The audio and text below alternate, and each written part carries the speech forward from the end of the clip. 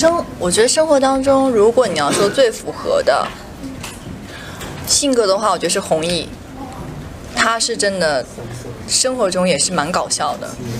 他那种搞笑，他不是故意搞笑，他就是一个很可爱的男孩，然后很真诚，但有时候说出的话会让你觉得好有意思。好，我想问一下谭健次老师，就是你是喜欢 H E 还是 B E？会不会被 B E 美学类分？哇，这个问题好难啊！其实我我我觉得我我会更都喜欢，每一个喜欢的感觉不一样。哎，可能以前更喜欢 H E，但后来发现 B E 好像更美一些啊。呃，泪奔，我觉得不管是 H E 还是 B E，我我基本上都会泪奔。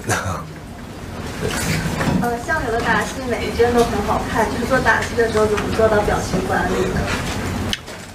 哎，这个还问到点儿，我就是这个确实还挺难的，因为当时拍相柳打戏的时候，我是希望他他的嗯每一根头发丝都是灵动的，所以就是不想出现很多很夸张或者很用力的那样的一个表情和动作，所以在打的时候，那些剑啊、刀啊，在你脸上划过的时候，或者你用力的时候，你脸上一定会出现一些这样那样的表情，所以就真的是要，我真的是还还确实真是对着镜子练了好久，就是说把自己的控制住自己的脸部，不让它不让它动，不让它出现表情，在打的过程中啊，还是下了点功夫的。对，嗯想问一下这里，想问一下杨紫老师，嗯，在拍摄的过程当中，自己印象最深的是哪一场戏？印象，哎呀，好多印象都特别深的戏，太多了。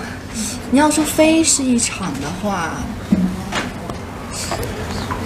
我我非是一场的话，就是这能说吗？到后面的戏，可以提前说估计要第二季了，第二季了，不要说这样可以说现在已经播出的里面的一些画面。呃，如果现在播出的话，肯定是就是跟哥哥大家看到那个相认的那场戏，就是狐狸尾巴掉出来以后，发现他是我的哥哥，然后我上去挡住了，帮他。那那场戏拍的，就是第一次，算是《长相思》的第一个小高潮吧，我觉得那场戏很印象深刻。嗯，现实生活中对自己的那个没有什么偶像包袱，我觉得这个可以这么说吧。就是因为我私下有时候坐姿或者说言行举止可能也是比较随意一些，然后这一点跟小刘挺像的。我觉得演戏特别难，对于我现在来说也是件很难的事情。然后每次拍一个戏，其实都是一个历练跟一个过程吧。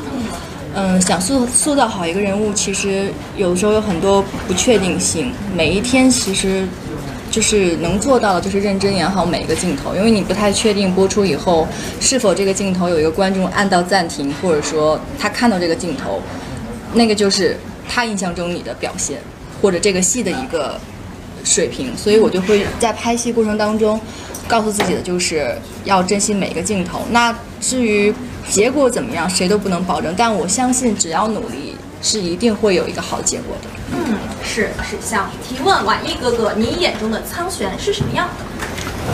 我眼中的苍玄啊，是的，演完苍玄之后，可能有点后遗症，也不知道能不能看清楚。视力突然不太好了。请问现实中你会做饭吗？如果会的话，最拿手的是什么菜？我会做饭，但是我没有最拿手的。我做的饭都还蛮好吃的，我自认为。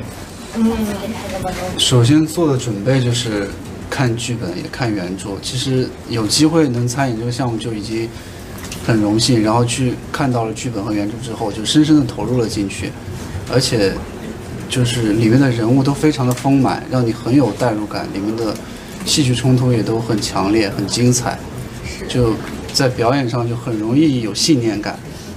然后最大的挑战和投入的话，就是因为我们剧组是同期收声的，很多条可能声音不太行，我们就需要重拍什么的，这是需要花功夫的点，也会继续努力。接下来我来聊一聊刚才这个视频当中的一些关键词。首先，杨紫说呢，她说那个救他哥哥那场戏呢是这个电视剧的一个小高潮。呃，所谓小高潮呢，意思就是说，呃，可以理解成呃 first peak，呃，或者是 big moment，big moment，呃，first highlight first highlight。呃，然后他还说这个，他和这个角色之间比较相像的地方呢，就是他们都没有偶像包袱。呃，所谓偶像包袱呢，指的就是 idol baggage idle baggage。